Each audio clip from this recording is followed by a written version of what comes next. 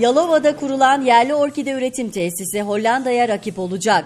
Türkiye'nin en büyük çiçekçilik kümelenme modeli içerisinde yer alan yerli orkide üretim tesisi tamamı yerli olan orkide üretimiyle ülkenin bu alandaki dışa bağımlılığını büyük ölçüde azaltıyor. Geçen yıla göre e, aşağı yukarı kapasitemiz %15 civarında arttı. Fakat e, hala tam kapasiteye ulaşmış değiliz.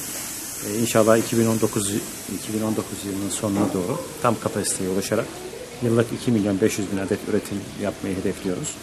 Bu da Türkiye ihtiyacının %50'sini tekabül ediyor. E, inşallah 2019 yılının sonuna kadar yatırımlarımızı tamamlamayı planlıyoruz. Tesiste oluşturulan gen laboratuvarında genden satış boyuna kadar yıllık 1 milyon 725 adet yerli orkide üretiliyor.